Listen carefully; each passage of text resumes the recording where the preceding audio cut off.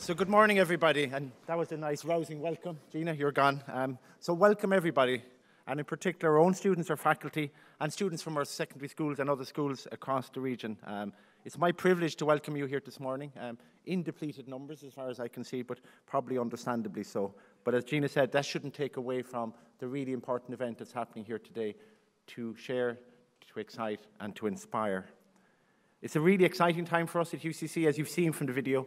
We are at the beginning of a planning phase now of developing our business school, our new business school site in, in the city, which will connect us directly to the business community, right in the heart of the city, building on the fantastic facility at Lapp's Quay. If you haven't been there, and I'm sure many of you will be over the next coming weeks and, and months.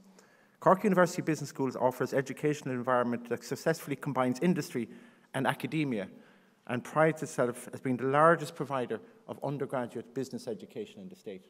And I think that's a remarkable accomplishment by our colleagues in the business school uh, who have built capacity to educate a huge, large workforce, many of whom find it easier to work in London than work in Dublin. Uh, getting out into London is much, much easier. And from my point of view, um, as Deputy President of Registrar, a staggering, staggering 95% of CUBS graduates secure immediate employment. It's probably, with medicine, one of the highest in the, in the university. And the good news indeed is that for the estimated 4,000 students are expected to enrol within the next future years, equally um, will have the equal opportunity. So we're incredibly proud of you, and we're incredibly proud of our faculty and the team for enabling that to happen. The Business School Conference is now, as Gina said, is in its fourth year and has proven incredibly successful and an enjoyable occasion. Um, the 2020 conference features a whole range of guests from our faculty, from our alumni, and from business leaders who will offer you insights into the changing landscape of business, both locally and internationally, but also to speak on a variety of topics of the future of business and sustainability to the graduate experience. You might ask, why do we have conferences? Um, all of us in academia and in business actually have conferences all the time. Well, there are lots of reasons to have conferences. One is to learn, but probably the, one of the most important things to learn to network, learn to engage with each other, engage with business, but also to look for opportunities for employment, but also to look for opportunities and ideas, and also to build friendships. So many of us on the academic circle or in business circle continuously have conferences to share these kinds of insights and to inspire and to challenge each other. CUBS is now in its fourth year, and it feels like this event has come into its own. While more being brought to the table each year, what's really important today is, I suppose, a collision, what we'll see, the collision between business and art. And I think really what we're trying to do is to challenge you um, in, in, I'm a scientist. In, in area, we talk about STEAM, so that's science, technology, engineering, arts, and, and medicine, or, and mathematics. I mean, what's really important in business is that collision also between the creative practitioners and business itself. Aptly named Future Proofing Business, the theme of this year's event references the overarching outlook of CUBS and the potential of its students who play an active role in the coordination and delivery of this conference. This is a student led, research informed, practice focused conference. Each year, the event is served to open lines of communication and discussion on topics such as the expectations of graduates with a dynamic, innovative workplace, growth and prosperity in the face of economic uncertainty in the future of Irish workforce. This year is no exception. We've had Gina, an um, Emmy-winning and former CNN correspondent, will lead us today in, in her MC. My colleague, Dr. Jean Van Sinderen Law, Jonathan Hurley, UCC alumni, and many others will actually share their perspectives. Finance graduates Sharon Cunningham, Mary McNamara, Kira O'Callaghan, and Laura Tynan will discuss their career trajectories. Because if you can't see one, you can't be one. By seeing people making and taking these roles will hopefully encourage you and inspire you to also challenge yourself and become the person that you ought to become. The conference, as we've seen, is sponsored by KPMG and other sponsors, but it's a shame that we don't have some of those speakers here today because of the coronavirus, but they are here in spirit, they are here in their support, and we are hugely grateful to them. We have a whole range of speakers, including, uh, when I saw the notes first, I thought it was Niall Horan. I think that would probably have caused a bigger drama in the place, but Niall Horgan uh, and Dermot McSweeney uh, from the founders of uh, Gym Plus Coffee, which uh, is an amazing brand. Uh, we'll hear from Ian Flanagan shortly, the CEO of Munster Rugby, about his own career path. Um, his treble cup and Leicester City football, but actually as a UCC English graduate. The world of business and arts will continue to collide during the panel discussions consisting of casts of popular TV programme The Young Offenders. The audience will hear a challenge in turning a Cork-based movie with a tiny budget international TV success story. The Cork Business Conference 2020 is proudly sponsored by KPMG and the Bank of Ireland, and we thank them most sincerely for that. I want to leave you with two final thoughts. One is the concept of VUCA.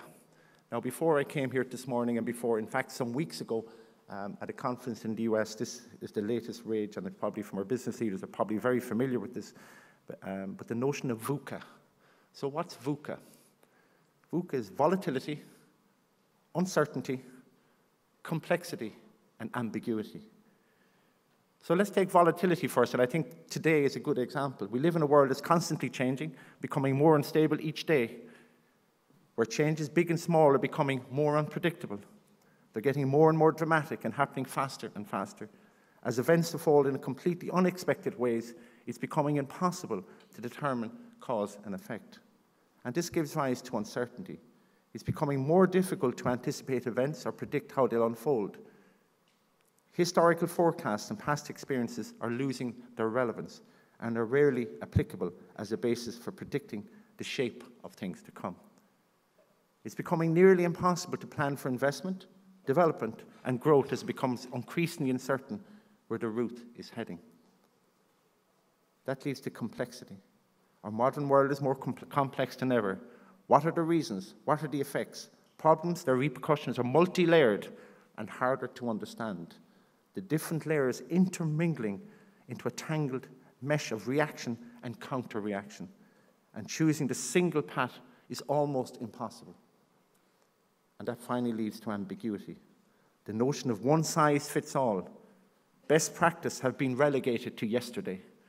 In today's world, it's rare for things to be completely clear or be precisely determinable. Not everything is black and white.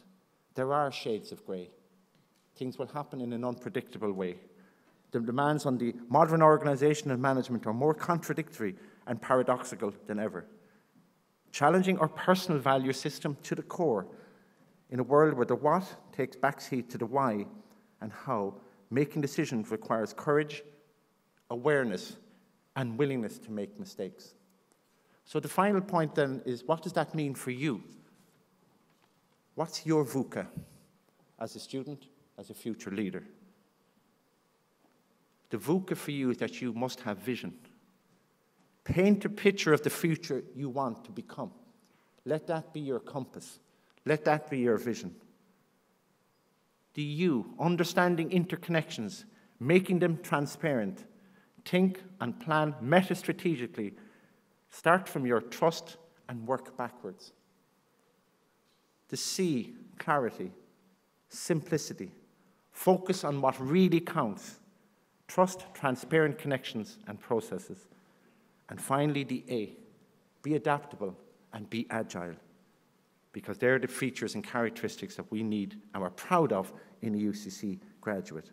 And finally, as the Deputy President and uh, chairing of our management team, team later in, in an hour's time, one of the big issues for us on our minds, of course, is coronavirus. And it's important for me to demystify what the university is doing. The university will remain open. The university will continue and follow direct advice. We're in daily in contact with the public health sector, and we will continue to do so until such time as we are instructed otherwise. Um, our faculty, our students, and everybody will work together to give you the best educational uh, experience that you can hope to enjoy at UCC. So finally, can I ask you to enjoy yourself today? Can I ask you to challenge each other? And most importantly, to have a great day. Congratulations and thank you very, very much.